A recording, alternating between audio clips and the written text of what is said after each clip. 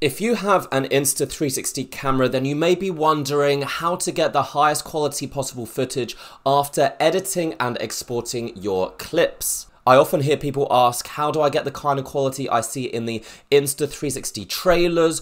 Or how do some of the YouTubers and influencers get their footage looking so good? Let's face it, video quality isn't Insta360 camera's uh, strong suit, so you should make sure you're using the right settings and using the right program to edit your footage. In this video, I'm going to be comparing the same clips but using different export settings and different export options. So we can see if there's really a difference and if there's enough of a difference to warrant some extra steps when we're editing and exporting our Insta360 videos. There are two main ways to edit your Insta360 360 clips, and that is using either the Insta360 app or the Insta360 desktop software, both of which are free. The app has more editing options, including an AI editor and automatic special effects. However, the limits of a phone app means the export generally is lower quality. Whenever exporting using the Insta360 app, you're going to want to select the custom export option that allows you to select your own export settings. We're going to take a look at the difference, but in general,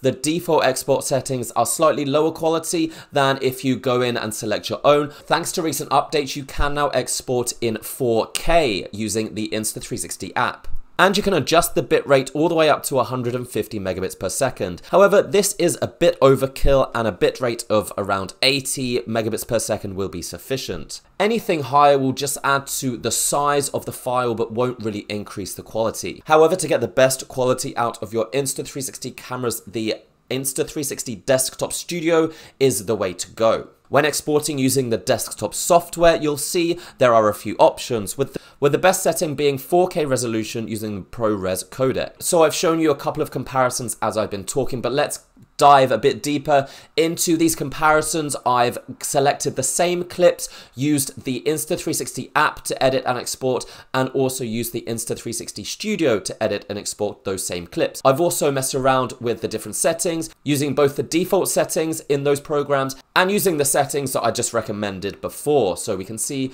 what the difference is. So first off, we're going to look at the app at its default settings versus the desktop export at its best settings. Now we can see here that there is a slight difference in quality. Uh, the ProRes desktop export exporting slightly more colorful, sharper footage, but to be honest, the difference isn't absolutely massive, even though the app export is just at uh, 25 megabits per second, but I still think there is a visible difference, um, particularly when we zoom in. You can see here that I zoom in in a screenshot. The desktop export has less noise and is slightly sharper. But is the difference massive? No. Now, if we bump up the app export to 4K at 80 megabits per second, so that is the best quality that the app can export at, to be honest, the app doesn't really change that much, the app export, even though I've upscaled it to 4K and bumped up the bitrate the difference is still quite well. The difference is still minimal between the two, but the app doesn't really change that much, even when you change the settings. I still think the desktop export here using ProRes 4K is visibly better, particularly in these uh, zoomed in. You can see definitely more sharpness in the zoomed in features. Right now I'm going to look at just the app and the difference between leaving it at its default settings and upscaling to 4K. To be honest, in these examples, I'm really not seeing much of a difference when upscaling to 4K in the app, and I'm not sure if it actually does anything. Uh, just from what I can see here, from zooming, or just from playing these videos and then zooming in, I zoom in to about 3 or 400%, there really isn't much of a difference even when you add the extra resolution and the and bump up the bits rate. I really can't tell a difference at all.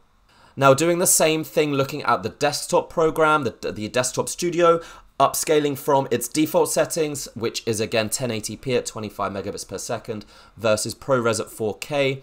Now here there is a difference. You may not be able to see it that much when uh, it's playing, but zooming in, pausing and zooming in, there is definitely a difference, particularly in this example here. You'll see in a second when I zoom in. The ProRes 4K, you can see it's quite a bit sharper. You can see a lot more details. But is again, the difference isn't absolutely massive. When playing it back, there really is not much of a difference between the two. Maybe slightly more sharper in the ProRes 4K exports, but it's not going to make a huge difference, guys. The most difference you're going to get is when you take these videos and edit them in a more advanced program like Premiere Pro or uh, DaVinci Resolve. That's how we get the hyper excellent quality that we see in the trailers and the uh, what the influencers do. So to summarize guys, using the Insta360 Studio with the ProRes format upscaled to 4K remains the best way to get the absolute best quality from your Insta360 cameras. Will just doing that result in the kind of quality you see in the trailers and some uh, professional camera users, influencers that you see on YouTube? No, you still need to do some extra editing to get that kind of quality. To get that kind of quality, you really need to use another program like Premiere Pro Pro or DaVinci Resolve to color correct, to boost the dynamic range, even to add some sharpness, even to upscale further. So take those trailers with a grain of salt. Also, they are usually shot in perfect lighting conditions, in perfect scenarios. So it is possible to get those kinds of shots you see in these trailers, but you need to go through this quite intense editing process. Use but to be honest guys, even though exporting with the Insta360 app does result in slightly lower quality footage, as we've seen in these comparisons, it's not a huge, huge difference. Particularly if the videos you're going to be making are going to be primarily viewed on a phone screen, so that's for Instagram, TikTok. If you're making videos for that format, vertical videos, then exporting and editing using the phone app is barely going to make any difference. Your viewers are not really going to be able to tell. And you're going to get all of the advanced editing features available in the phone app, all of those special effects. If you do want to get the kinds of shots you've seen in the Insta360 trailers and that the influencers are doing, then please check out my Ultimate Insta360 video course. Not only will I teach you how to get the best quality footage, but I'll also teach you how to set up your camera and a step-by-step -step guide on how to shoot these intense, unique shots that only Insta360 cameras are capable of, including step-by-step -step guides on how to edit them as well. Check that out in the link in the description. So plenty more guides coming up, guys. I hope that's been useful. I'll see you next time. Bye.